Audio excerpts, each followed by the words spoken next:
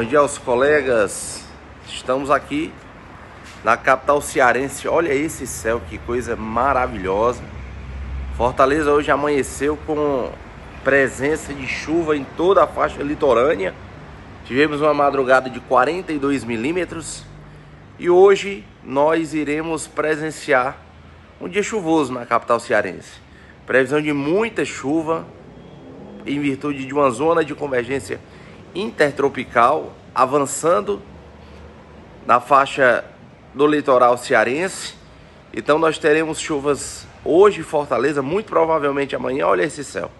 Começa a neblinar em Fortaleza e vem muita água por aí, muita água mesmo. Olha aí, grande David, como é que tá a capital cearense para hoje? Sempre eu gosto de mandar aquele abraço para o meu amigo David Viana. Curta o canal dele, compartilhe, ative o sininho, ative todas as notificações. Façam o compartilhamento para 5, 10, 15, 20, 30 pessoas, o máximo que você puder. Muita chuva em Fortaleza. Grande abraço, David Viana, o homem das chuvas aqui no Ceará.